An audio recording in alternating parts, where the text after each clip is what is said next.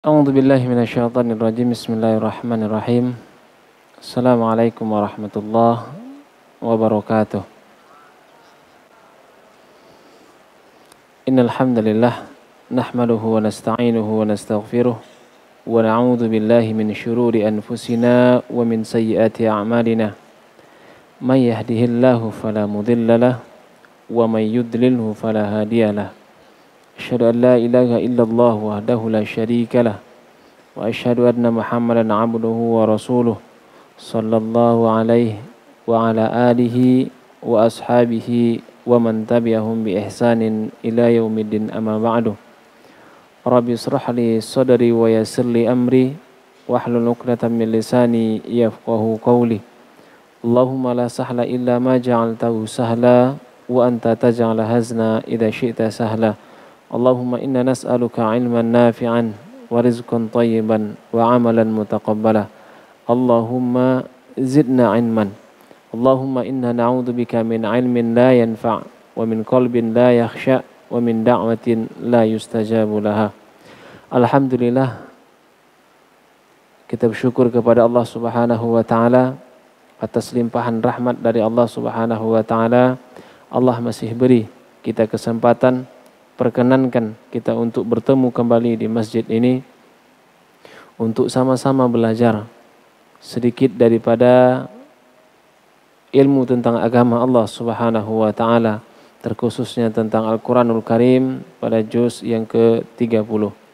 Semoga apa-apa yang kita dengar, yang kita baca, yang kita pahami, yang kita tadaburi pada pertemuan malam hari ini atau sore hari ini dijadikan oleh Allah Subhanahu wa taala sebagai timbangan amal kebaikan kita di sisi Allah Subhanahu wa taala. Dan kemudian kita juga berharap kepada Allah Subhanahu wa taala menjadikan kita orang-orang yang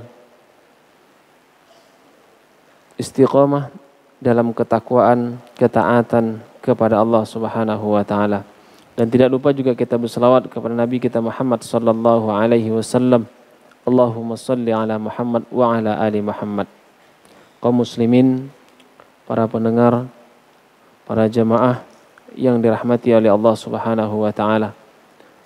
Sebagaimana pekan-pekan sebelumnya, sebelum kita lanjut materi ayat berikutnya, maka kita sejenak sedikit murojaah beberapa ayat yang telah kita tafsirkan atau kita bacakan tafsirnya.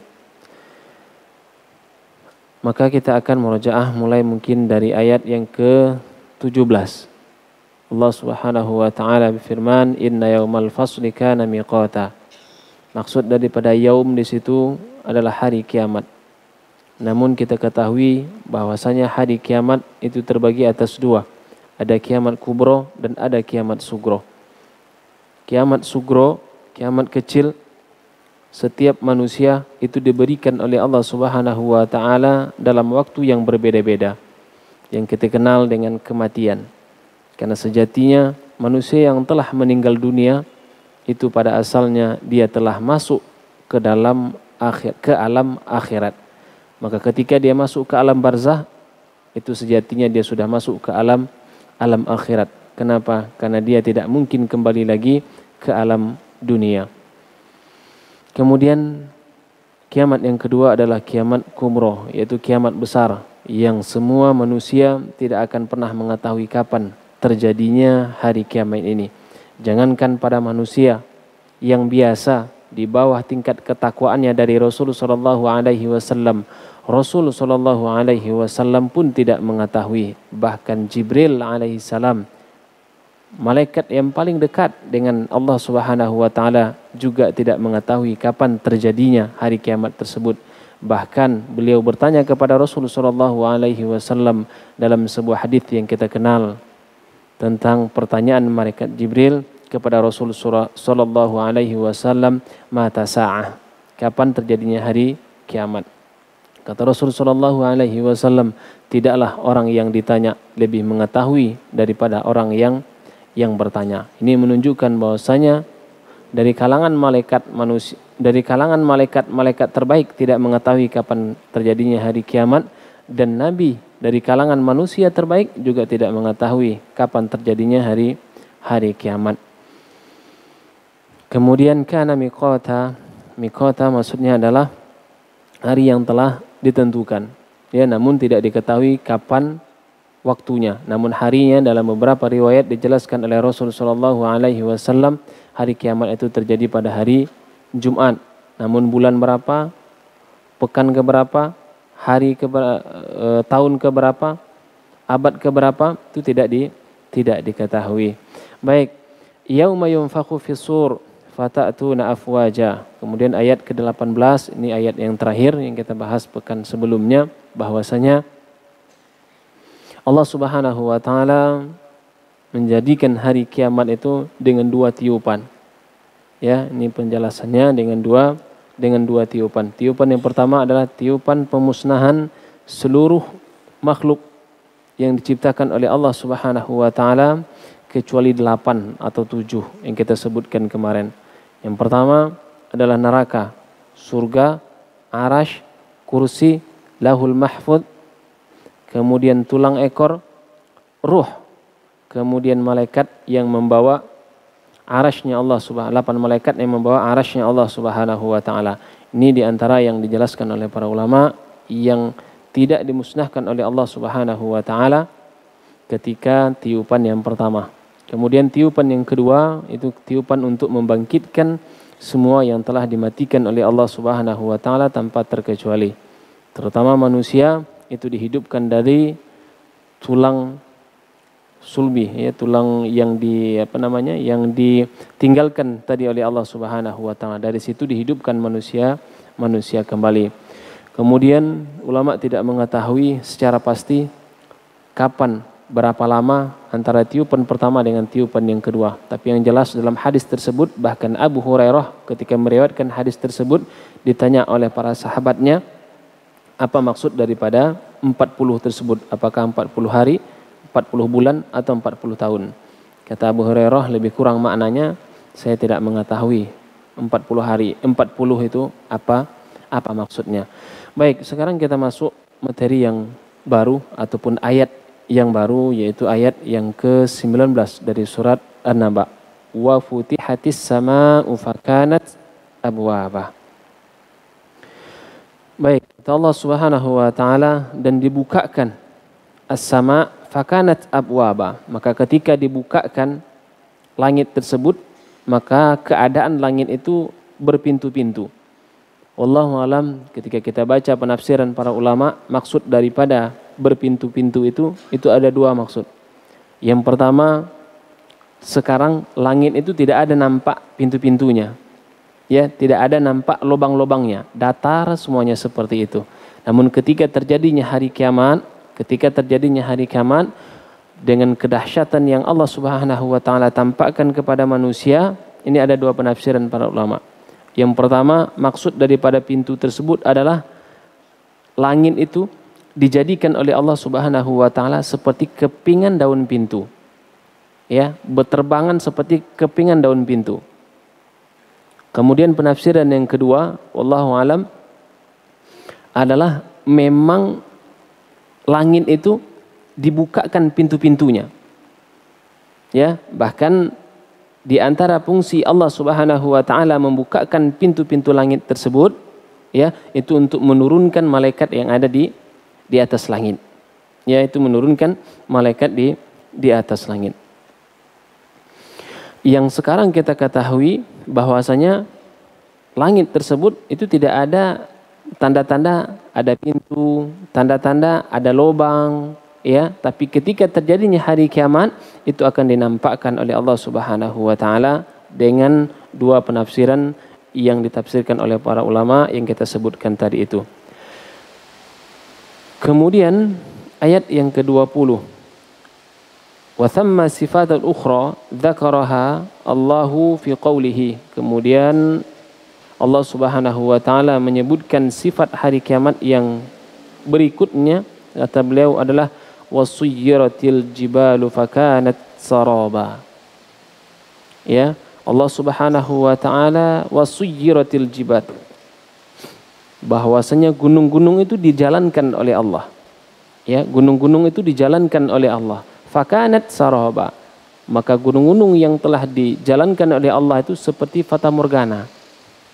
Ya, saking dahsyatnya.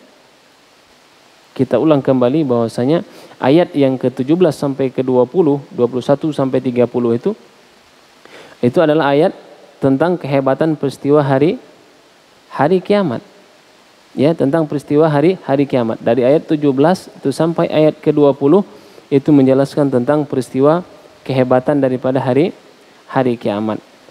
Baik.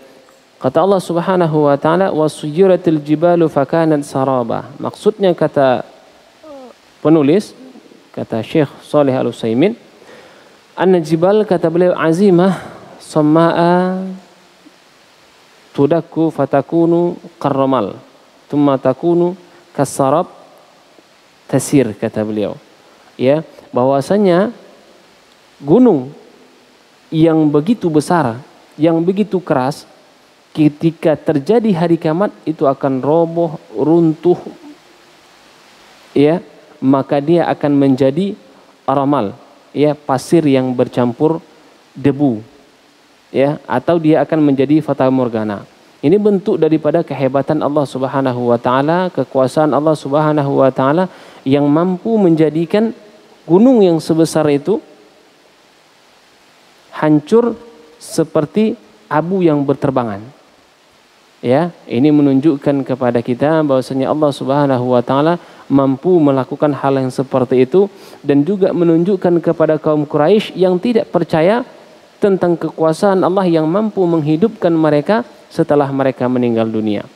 Perkara yang sebesar sedahsyat ini saja Allah Subhanahu wa taala mampu membuatnya, menjadikannya apatah lagi hanya sekedar membangunkan orang yang telah meninggal dunia di padang mahsyar.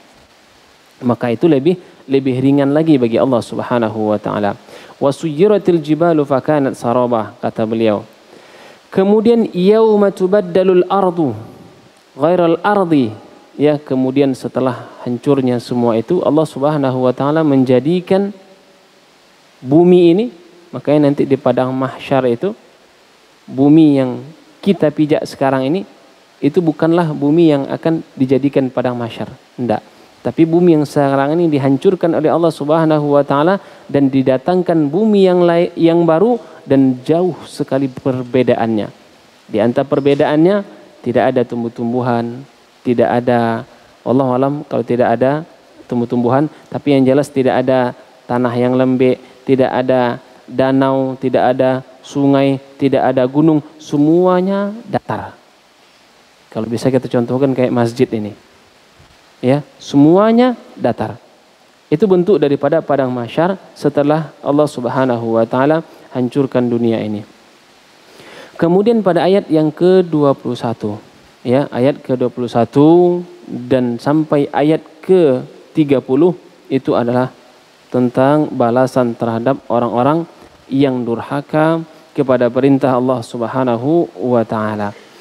Baik, kemudian ayat ke-21, inna jahannama kanat mirsadah. Kata Allah Subhanahu wa taala sesungguhnya jahanam itu ada mirsad. Apa itu mirsad? Tempat mengintai. Ya, tempat mengintai. Maksud daripada mirsad tersebut kata beliau muiddah litaghin. Ya, tempat mengintai oleh para malaikat ya untuk orang-orang taghin. Taghin ini dijelaskan oleh para kata beliau wa jahannam ismun min asma'il kathirah wa sumiyat bihadza likal isrib li anna dzatu juhmah. Ya kemudian kata beliau kenapa disebutkan bahwasannya jahannam itu namanya mirsad? Kata beliau karena di antara nama-nama jahannam ya yang banyak juga disebut sebagai mirsad kenapa karena beliau seperti periuk besar ada apa namanya eh, ada palungnya ke bawah. Ya, karena ada palungnya ke bawah. Kemudian zulmah bisawadiha. Kemudian gelap neraka tersebut. Ya, dengan warnanya yang hitam. Wa kata beliau. Kemudian karena kedalaman daripada neraka tersebut. A'adanallahu wa iyyakum minha. Kemudian beliau mendoakan kita ya kita semua termasuk beliau juga untuk terlindung atau terbebas dari neraka tersebut. Wahia mirsadun litauhid. Kemudian mirsad tersebut kata beliau, tempat pengintai tersebut atau malaikat pengintai tersebut itu disiapkan untuk orang-orang yang tauhid. Apa itu tauhid? Nanti dijelaskan sama beliau. Qad a'adahallahu azza wa jalla lahu minal an. Kemudian hari kiamat, eh, kemudian neraka tersebut, jahanam tersebut itu sudah dipersiapkan oleh Allah Subhanahu wa taala. Ya, jadi keyakinan ahli sunnah wal jamaah bahwasanya neraka dan surga itu itu sudah ada dari sekarang. Ya, karena ada sebagian daripada kaum muslimin yang tidak percaya bahwasanya surga dan neraka itu itu telah ada mulai dari sekarang ya dan itu banyak dalil yang menyebutkan menggambarkan bahwasanya surga dan neraka itu sudah ada mulai dari sekarang. Di antara dalil yang menyebutkan bahwasanya neraka itu sudah ada mulai dari sekarang firman Allah Subhanahu wa taala dalam surat Ali Imran ayat 131 kata Allah Subhanahu wa taala wattaqud naral lati uiddat lil kafirin.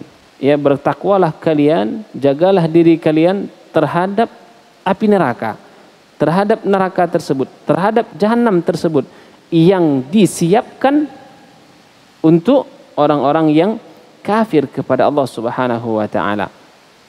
Waraha Nabi sallallahu alaihi wasallam. Kemudian hadis-hadis Nabi sallallahu alaihi wasallam ya yang menjelaskan bahwasanya Nabi sallallahu alaihi wasallam juga melihat daripada api neraka tersebut, daripada neraka tersebut ya uridat alaihi wa huwa yusalli salatal kusuf. Ya dinampakkan kepada Rasul sallallahu alaihi wasallam di saat beliau melaksanakan salat salat gerhana atau salat kusuf. Wa ra'a fiha imra'atan tu'adzab fi qitatin laha habasatha. Ya dinampakkan oleh Rasulullah ini bentuk gambaran bahwasanya neraka itu sudah ada. Sejak zaman Nabi sallallahu alaihi wasallam ketika Rasul Shallallahu Alaihi Wasallam melaksanakan sholat khusuf dinampakkan oleh Allah Subhanahu Wa Taala di neraka itu ada seorang perempuan yang diazab oleh Allah Subhanahu Wa Taala karena mengurung kucing, ya karena mengurung kucing dan dia tidak ataupun memenjarakan kucing dan dia tidak memberikan makan kepada kucing tersebut ya dia tidak memberi makan kepada kucing tersebut. Dengan dosa seperti itu itu dia perempuan tersebut disiksa oleh Allah Subhanahu wa taala kemudian dinampakkan kepada Rasul sallallahu alaihi wasallam. Wa fiha Amr bin Luhai Khuzai yajudu kusbah finnar yakni ama'ahu li'annahu kana awwala man adkhala syirk 'ala al-arab kemudian Rasul sallallahu alaihi wasallam juga pernah dinampakkan ya seorang yang kafir Quraisy Amr bin Luhai. Ya bahwasanya beliau di neraka itu diseret oleh malaikat ususnya. Dinampakkan kepada Rasulullah. Di antara penyebabnya adalah karena beliau manusia yang pertama sekali membawa kesyirikan di tanah Arab. Ya ini bentuk daripada dalil-dalil bahwasanya neraka itu sudah ada sejak zaman Nabi Shallallahu Alaihi Wasallam. Baik, kemudian hadhihi nar yaqulullahu azza wa jalla kata beliau bahwasanya neraka jahanam ini kata beliau Allah Subhanahu wa taala ya berfirman terhadap ataupun menjelaskan kepada neraka jahanam tersebut litaghin nama aba ya diperuntukkan ayat yang ke-22 litori nama aba. Kemudian neraka jahanam tersebut itu diperuntukkan untuk orang-orang yang taurin. Ini yang kita sebutkan tadi, taurin tadi itu akan di akan dijelaskan. Baik, gun jamu taurin. Ya, gun itu jamak daripada taurin. Wa huwa alladhi tajawazal hadda. Yaitu kelompok orang yang berlebih-lebihan. Ya, kelompok orang yang berlebih-lebihan. Lianna tughyan mujawazatul haddi. Karena tughyan itu adalah orang yang berlebih-lebihan. Kama qala Allah taala inna lamma taghal ma'u hamalnakum fil jariyah. Ya di antara dalil yang menyebutkan bahwa taghin atau taghun itu orang yang berlebih-lebihan kata beliau di antara dalil yang menunjukkan makna itu adalah firman Allah Subhanahu wa taala dalam surah Al-Haqqah sesungguhnya ketika air itu naik melimpah togo itu kan berlebih-lebihan tadi maka di ayat ini disebutkan air itu melimpah atau berlebih air tersebut ya maka nenek moyang kalian kami naikkan ke atas ke atas kapal. Baik zada wa tajawazal had yaitu karena airnya ber, bertambah. Wahadul insan madkurun fi qaulihi ta'ala ya adapun haddul insan madkurun fi qoulihi adapun batasan seorang hamba ataupun perintah tujuan seorang hamba itu di diutus ataupun diciptakan oleh Allah Subhanahu wa taala itu adalah wa ma khalaqtul jinna wal insa illa liya'budun. Jadi batasan seorang hamba itu ketika diciptakan oleh Allah Subhanahu wa taala itu untuk beribadah kepada Allah Subhanahu wa taala. Bagi orang yang melewati batas ini itu maksud darinya, maksud daripada ayat ini adalah orang yang bermaksiat kepada Allah Subhanahu wa taala. Kalau lewat daripada ketaatan tentu maksiat lagi. Ya, itu maksud daripada orang yang berlebih-lebihan yang maksud daripada litoghin atau toghun ini. Baik, wa tajawazul haddi yakunu fi hukukillah kata beliau bahwasanya secara berlebih-lebihan itu melampaui batas itu itu ada dua. Ya melampaui batas terhadap haknya Allah Subhanahu wa taala ya wa yakunu fi hukukil ibad. Dan kedua melampaui batas berlebih-lebihan terhadap haknya manusia. Ya amma fi hukuk amma fi hukukillahi azza wa jalla fa innahu at-tafrid fil wajib awil ta'addi fil muharram ya maksud daripada seseorang yang berlebih-lebihan terhadap haknya Allah adalah ketika dia ya melampaui batas terhadap hal-hal yang diwajibkan oleh Allah Subhanahu wa taala dan hal-hal yang diharamkan oleh Allah Subhanahu wa taala. Kemudian wa amma fi hukukil adamiyin adapun berlebih-lebihan terhadap haknya manusia kata beliau fahuwal adwan alaihim fi amwalihim wa dimaihim wa a'radihim. Ya yaitu berlebih-lebihan dalam menzolimi mereka ya maksudnya adalah menzolimi mereka terhadap harta mereka darah mereka serta kehormatan mereka. Ya ini maksud daripada berlebih-lebihan terhadap manusia وهذا ثلاثة التي حرم حرمها رسول الله صلى الله عليه وسلم dan ketiga haknya ataupun ketiga yang tidak boleh berlebih-lebihan maksud daripada berlebih-lebihan tersebut yaitu kezoliman terhadap harta, kezoliman terhadap darah dan kezoliman terhadap uh, apa namanya kehormatan seorang manusia maka itu telah diharamkan oleh Rasul sallallahu alaihi wasallam ya Dan itu beliau sampaikan ketika di haji di haji wada fi maudhi'in faqala inna dima'akum wa amwalakum a'radakum ya a'radakum alaikum haramun. Kata beliau Rasulullah sallallahu alaihi wasallam bersabda tentang pengharaman had tadi itu ya berlebihan terhadap adamiyin. Kata beliau adalah sesungguhnya dima'akum ya darah kalian wa amwalakum harta kalian. Wa a'radakum. Kehormatan kalian. Alaikum haramun. Lagi haram bagi atas kalian untuk merusaknya terhadap orang lain. Baik waktu qiyatu hukukul hukuk uh, fi hukukillahi wa fi hukukil ibad hum ahlin nar. Wa iyadu billah. Kemudian kata beliau barang siapa yang berlebih-lebihan terhadap haknya Allah dan haknya Adam, ya Adam itu adalah haknya manusia, maka orang seperti inilah yang dimasuk dalam kategori kemuliaan yang Allah Subhanahu wa taala siapkan bagi mereka yaitu neraka jahanam kata beliau wa billah dan kita berlindung kepada Allah Subhanahu wa taala.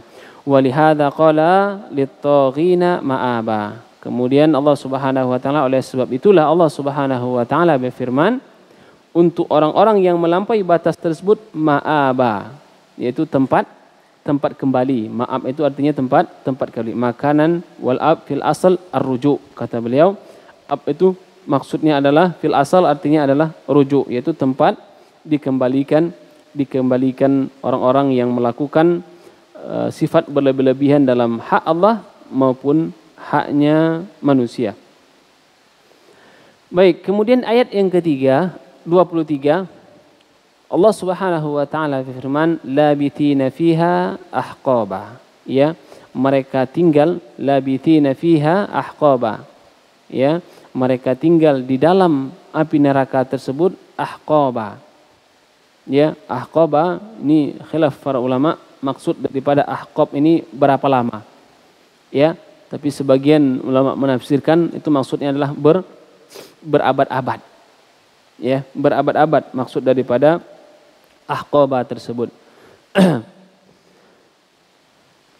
Kemudian kata beliau kalau penafsiran daripada Syekh madadan tawilatan yaitu masa yang sangat panjang ya wa qad dalla Qur'anul Karim ala anna hadhil mudada la nihayata laha ya uh, telah datang dari Al-Quranul Karim, sungguh telah datang dari Al-Quranul Karim bahwasanya masa yang terdapat dari makna ahqaba tersebut kata beliau itu adalah masa yang tidak ada akhirnya. Ya, wa annaha madadun abadiyah. Karena masa tersebut adalah masa keabadian. Kama jaa dzalika musarrahan bihi fi thalathati ayatin min kitabillahi fi suratin nisa fi qoulihi ta'ala sebagaimana itu disebutkan dengan ayat yang sangat jelas tiga ayat yang terdapat di surat An-Nisa. Ya. Ayat yang tiga ayat yang beliau ingin sebutkan ini adalah ayat yang menjelaskan bahwasanya orang yang masuk ke dalam neraka tersebut adalah orang-orang apa uh, orang yang masuk ke dalam neraka tersebut yang diabadikan oleh Allah Subhanahu wa taala di antara buktinya bahwa ada orang yang diabadikan oleh Allah masuk neraka adalah sebagai berikut. Ada tiga dalilnya, kata beliau. Yang pertama dari surat An-Nisa. Innal ladina kafaru wa zalamu lam yakunillahu liyaghfira lahum wala liyahdiyahum tariqa. Ya, sesungguhnya orang-orang yang kafir dan menzolimi dan mereka tidak diampuni oleh Allah Subhanahu wa taala atau Allah tidak memberikan ampunan kepada mereka wala liyahdiyahum dan Allah tidak menunjukkan jalan yang lurus kepada mereka liyahdiyahum tariqa illa tariqa jahannam kecuali jalan menuju jahannam khalidina fiha. Ya orang yang seperti ini kekal di dalam api neraka. Khalidina fiha abadan wa kana dzalika 'ala Allah yasira. Dan hal yang seperti itu sangat mudah untuk Allah Subhanahu wa taala menjadikannya. Ini ayat yang pertama yang menjelaskan bahwasanya orang kafir yang menzolimi dirinya maksud daripada ayat tersebut adalah dikekalkan oleh Allah Subhanahu wa taala di dalam api neraka. Kemudian dalil yang kedua, innallaha la'anal kafirin wa 'adda lahum sa'ira.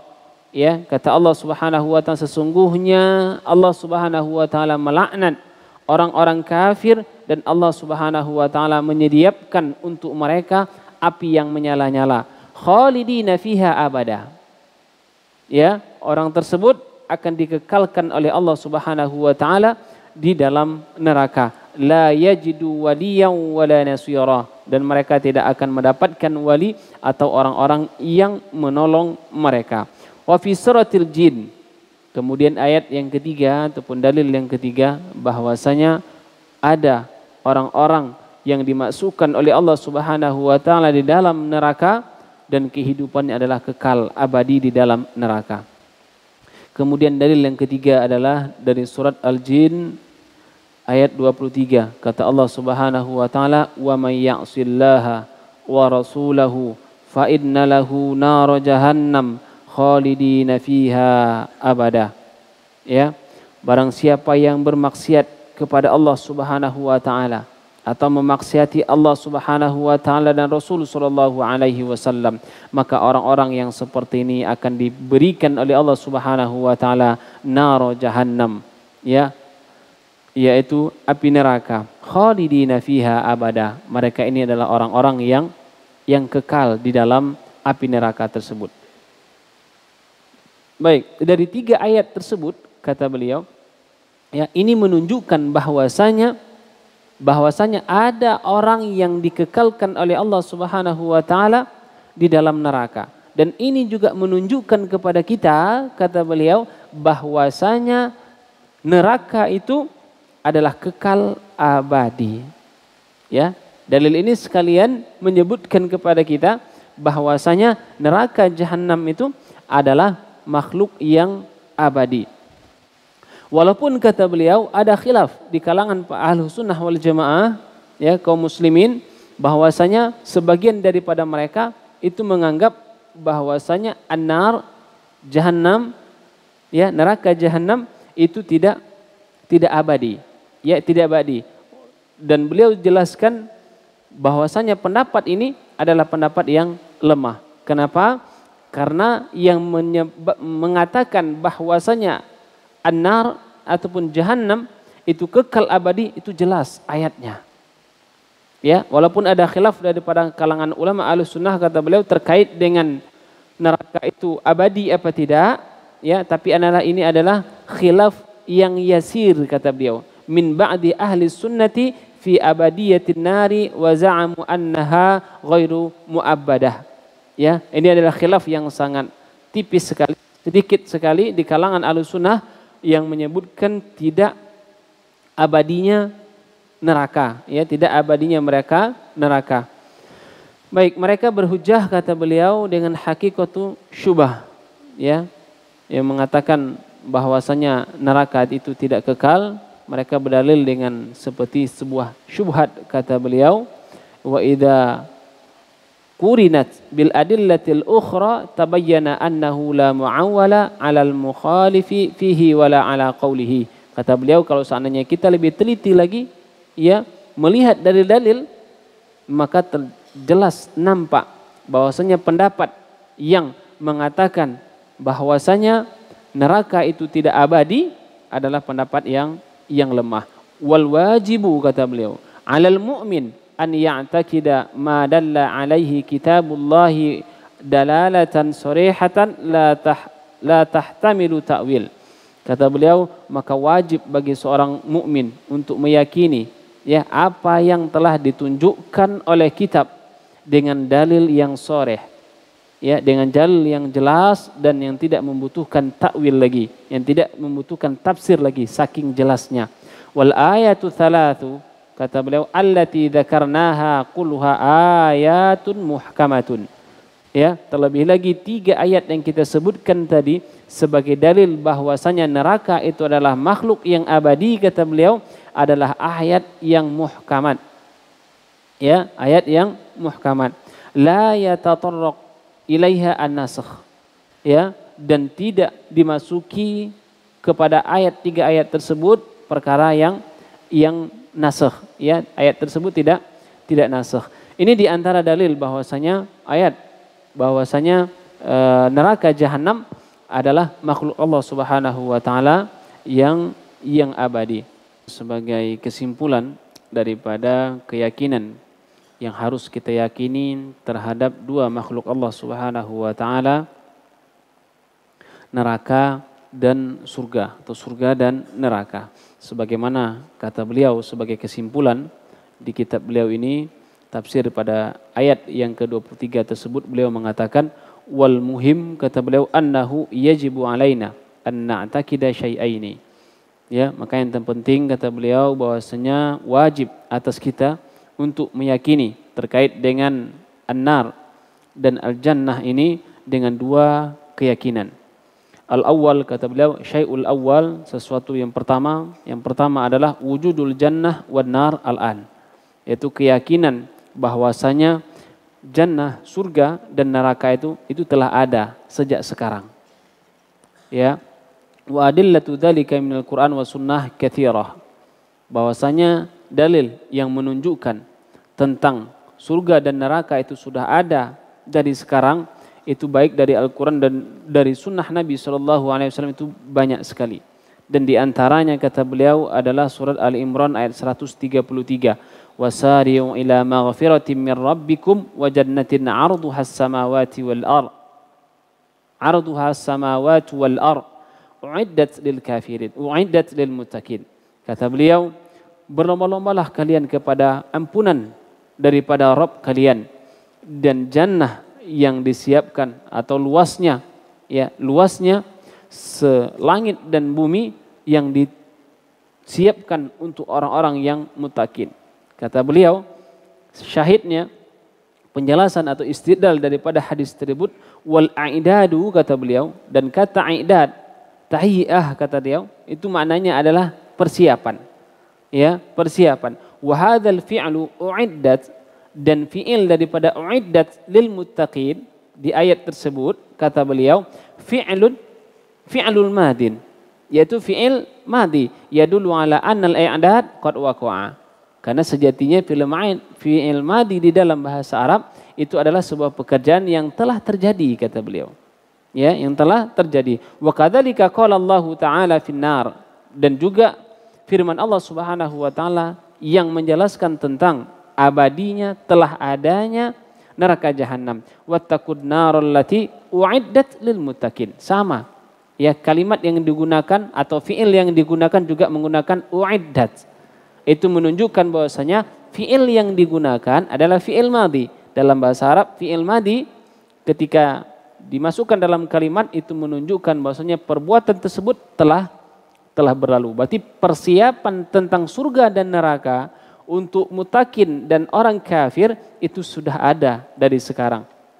Kemudian dari hadis Nabi Shallallahu Alaihi Wasallam juga, banyak, sebagaimana yang kita sebutkan tadi itu, Rasul Shallallahu Alaihi Wasallam diperlihatkan tentang surga dan neraka. Kemudian perkara yang kedua sebagai kesimpulan kata beliau, ya syai'utsani, perkara yang kedua adalah i'tiqadu annahuma darani abadiyatani.